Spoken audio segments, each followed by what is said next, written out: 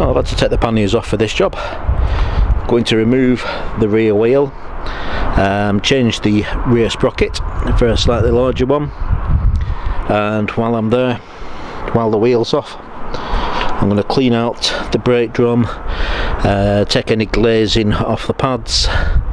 Um, so, first thing I've done is wind back the adjuster to give me enough room to see if I can do this one hand, probably not. I need to push that lever in and move that to the side.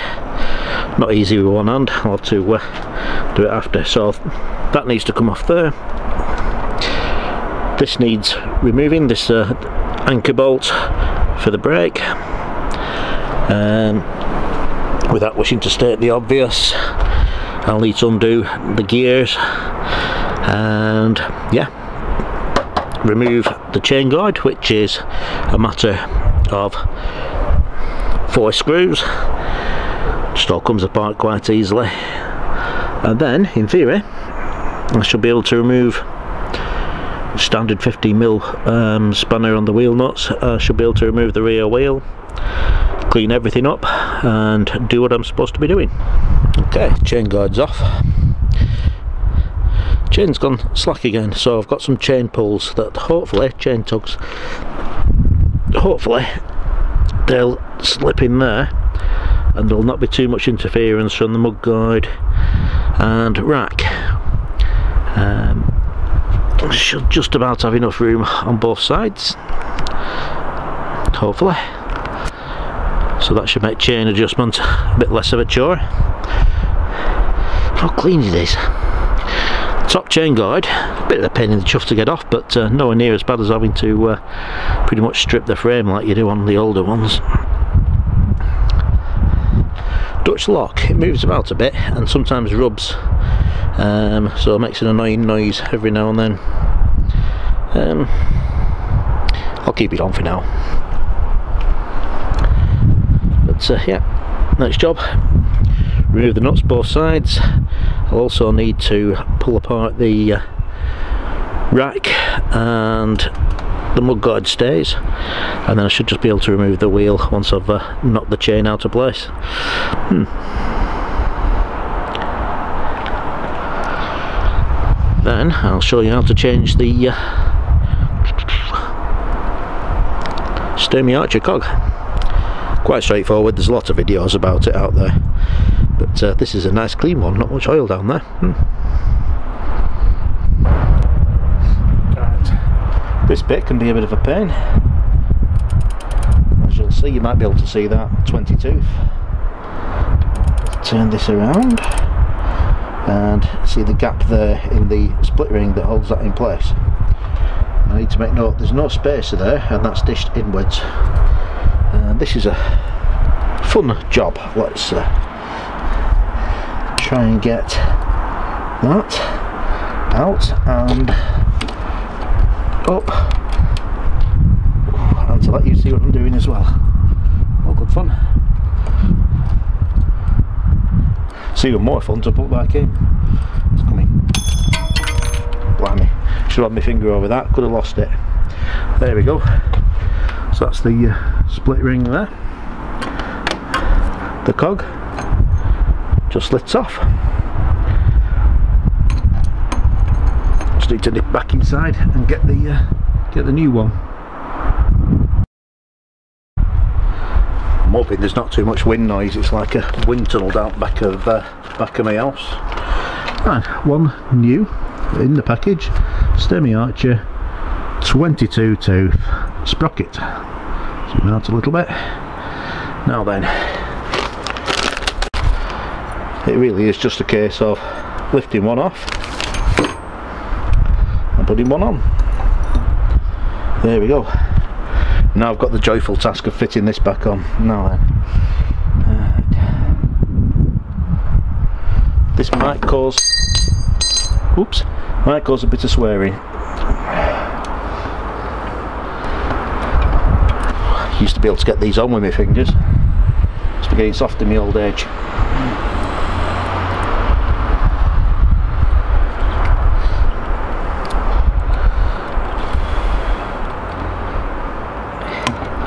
doing. There we go. That's it. Let's make sure that's all seated.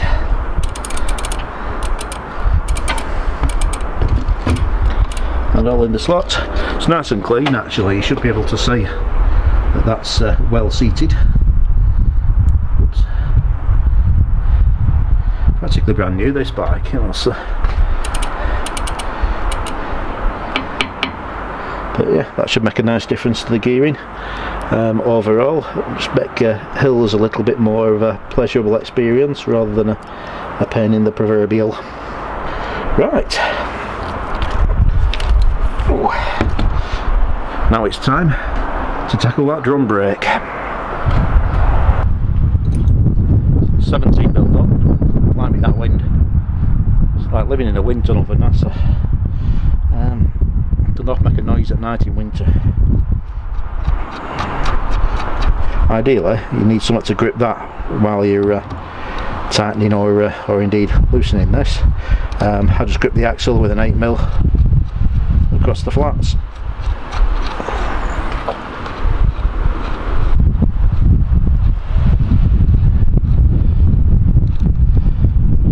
Pretty new bike, so nice clean threads. Holds onto a uh, holds onto a cone. There we go. So not sure if you can see that. A bit of dust on them. That's neither here nor there, but there's quite a shiny glaze to them. Um, give those a clean up with some sandpaper. And inside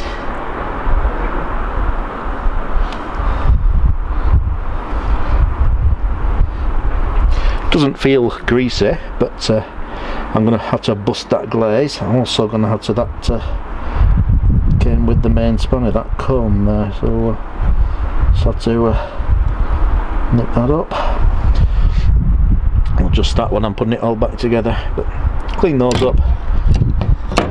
Clean inside the drum. Uh, I'm going to lightly sand inside the drum as well give it a little bit of a scoring just to help it bed in and then clean it with some brake cleaner. Had to clean my hands so I won't get any oil back on everything but uh, yeah brake and clutch cleaner various brands available. Some of them are bottled some of them are aerosol. Brilliant for cleaning random bits getting grease off stuff. Fantastic for doing what it says on the tin cleaning brakes and clutches. You can also use carburetor cleaner methylated spirits or if you want to waste fine alcohol you can use vodka. Or gin anyway that's all degreased. That's just nipped up just enough I hope. I don't fancy adjusting it later.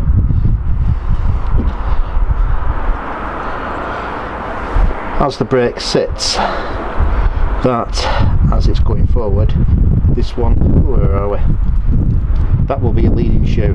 So as the rotation comes this way that's the one that's going to bite in. So clean that up got rid of the glaze hopefully you can see you might have to zoom in a little bit.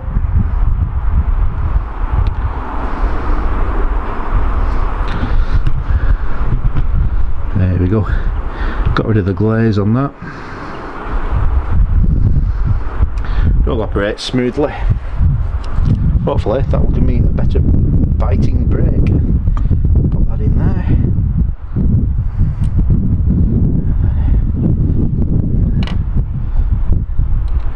This is the one that we would use for adjusting that car.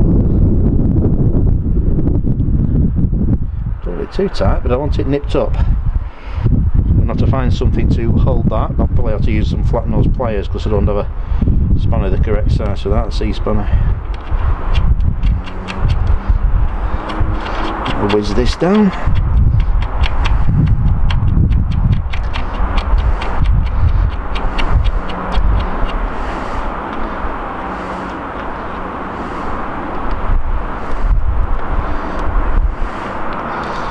Actually. I think that's... no it isn't.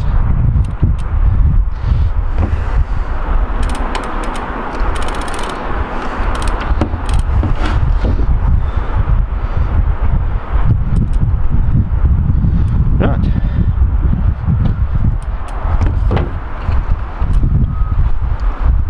I'm hoping I've not left any play in there because uh, any play there will amplify the rim and it'll really annoy me I'll have to take it off again little bit of play so I do need to uh, nip it up a bit. Anyway while I do that I also need to warm my hands up so I need to get a cup of tea I think.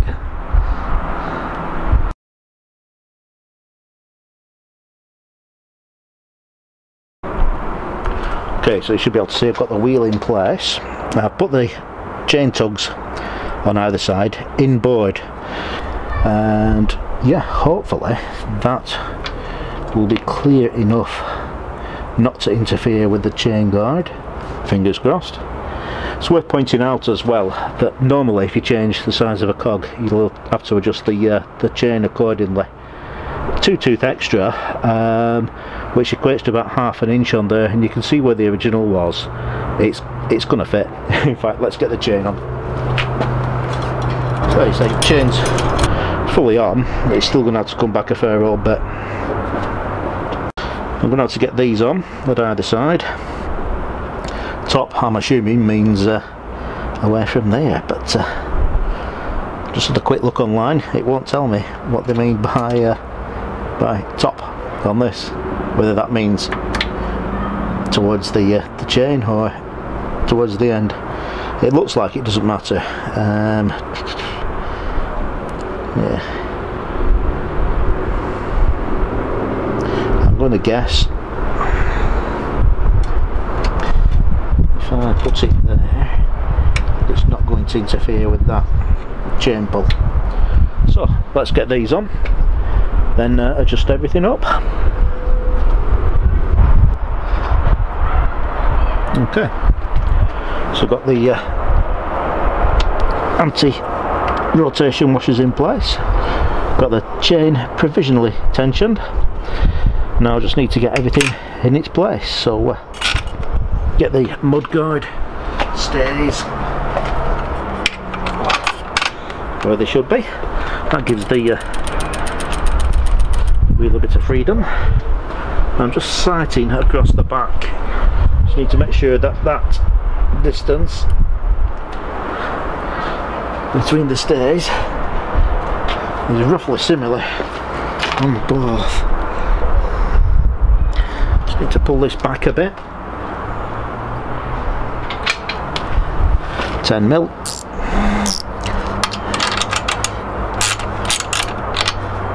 Oh, that's like a bowstring now. Slip it off.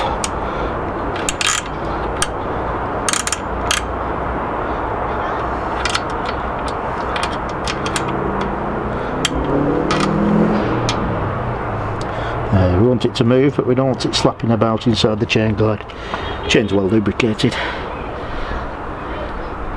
Uh, it's a reasonable amount of play. I just need to bring the left hand side in a bit.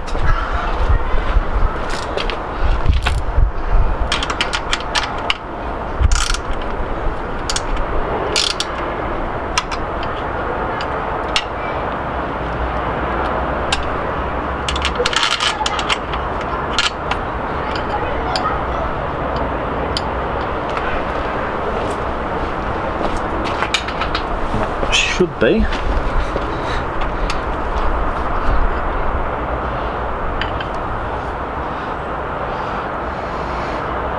Yeah, yeah. Each thumb just just goes between the stay and the rim. I've not done that bloody valve. Ah.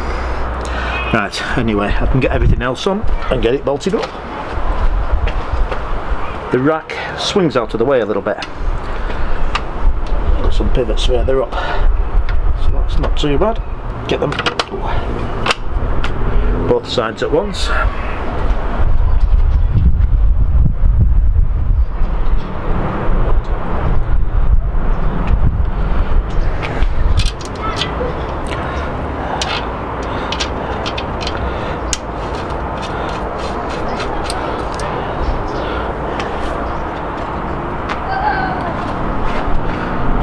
wheel alignment and chain tension. Once I've got some tightness in these nuts as well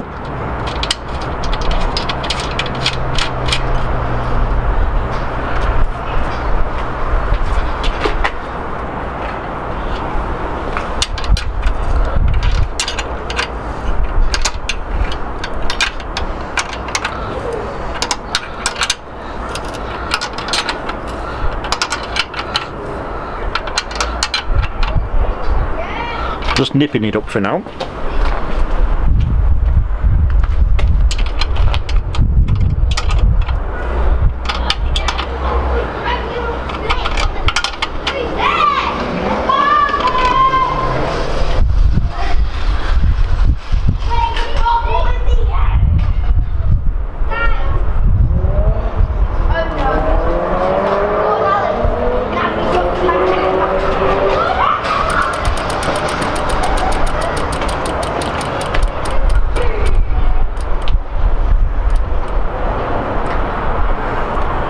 More or less right. I'll probably be able to feel it if it's not when I'm riding it.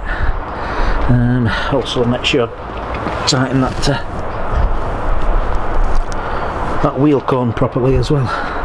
Which I think I have. Don't fancy stripping it all down again. Right. Need to tighten everything up now. Almost forgot to mention, get that brake anchor bolt tightened up before you nip this one up completely because um, you'll probably need to rotate this to line it up. Once it's bolted in place you can get the cable in, give the brake a try and adjust the brake. Um, nearly done. Okay so that's everything tightened, both wheel nuts, brake anchor bolt, taking the opportunity of um, oiling the cable as well from above and below start a wee bit of thin penetrating a bit of WD-40 because um, it was quite stiff annoyingly which won't help now then to get that in there and that no.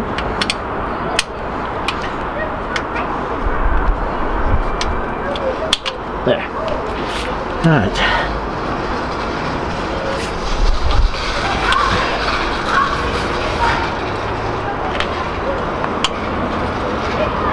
Right. So now all bolted in place.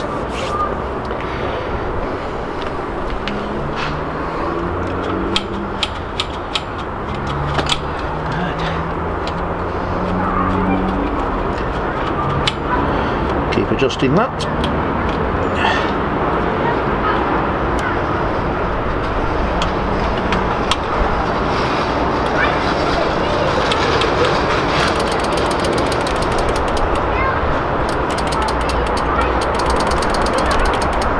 Adjust it until it nips up. Right that's now just starting to bind on the wheel.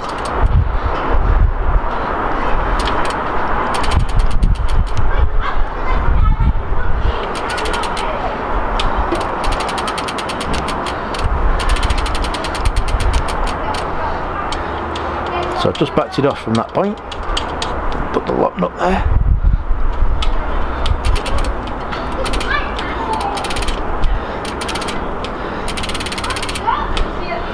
So that should uh, that should help a bit. Reasonably well adjusted. Can always adjust that on the fly. That's uh, pretty much almost ready to ride now. Just need to get the uh, chain case back on. Give it a wipe first and get it back on. Oh, the top chain case is great fun if you don't like your fingers and you want to torture them on a cold day. Um, bottom one's quite easy but the top one's pretty stiff. You know, you really need to pull it apart and get it over the chain. Well,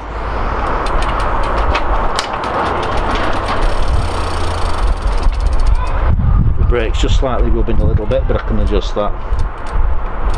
Make sure the tyre's not rubbing on anything. And now it's time to uh, install this. The brake adjustment and indicator.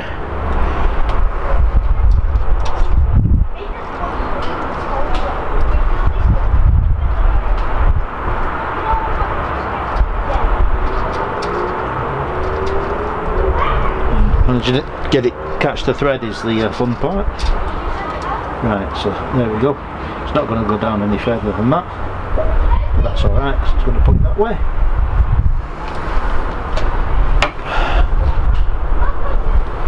mustn't forget. I think there's supposed to be a little wheel in that. I might have to see if I can find another one, but uh, let's face it, Sturmey Archer worked for years without these.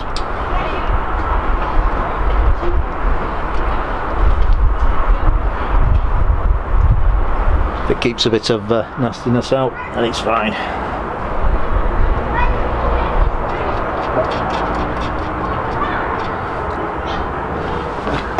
In the way of the camera. Sure, pointing in the right direction. Right.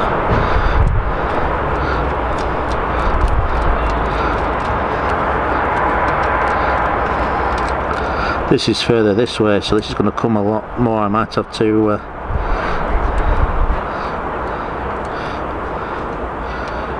uh, might be alright.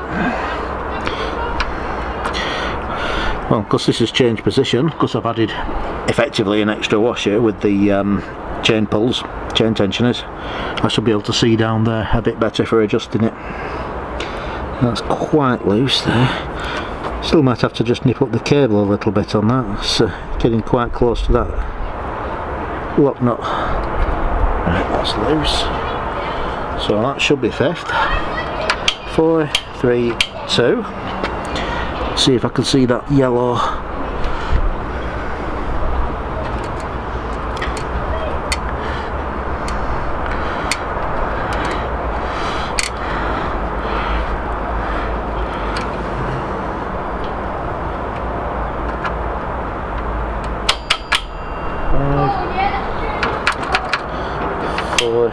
three, two. Everything seems to have. Uh,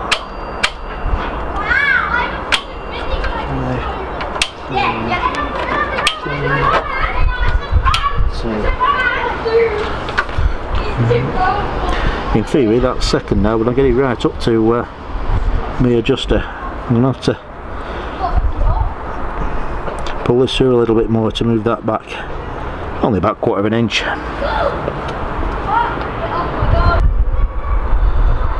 So there we have it.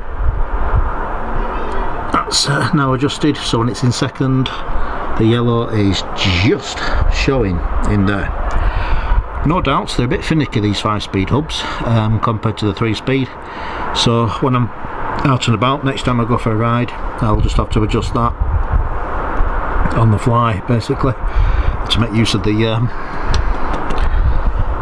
the stand that uh, lifts the back wheel off the ground. All the gears seem to be going in now, absolutely fine, but when they're under a bit of strain from uh, from me pressing on the pedals and going up hills and whatnot, then uh, that could be very different.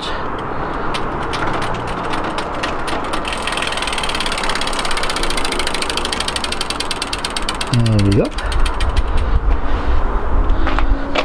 front brake works quite well now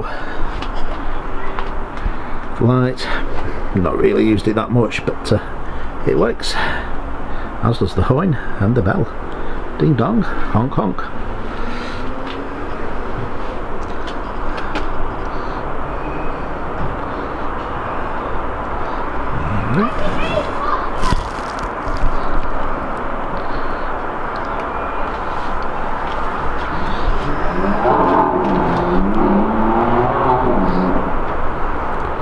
well and good.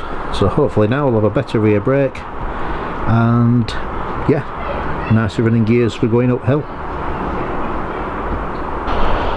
Okay just got back from a test ride. Gears are all indexing perfectly. Uh, no problem there it feels yeah I like the gearing now. Really nice. Um, against the headwind no problem. Using fourth a lot more. Um, the seat I've adjusted upwards slightly at the front. I just raised it a tad. Um, just to check for the comfort on that back brake to be honest no real difference but it's no worse. So hopefully now it's all scuffed up a little bit inside it should bed in a little bit quicker and uh, hopefully start to bite a little bit like the front one's doing. I'm generally using the front for most of my braking at the moment. Um, the back won't slow me down down a hill. Because it's, uh, it's that bad. But hopefully it will get better now. Um, the grips, the GP1 grips.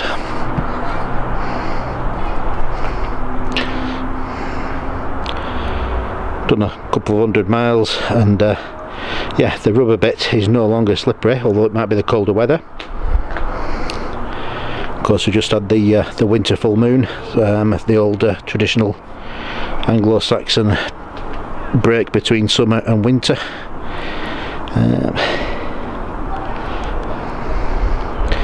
but yeah it's riding really well now just in time for me to um, probably end up shelving it and using another bike for winter. Oh well. Hope you enjoyed the video and found it useful. If you haven't already please press like and subscribe for more of the same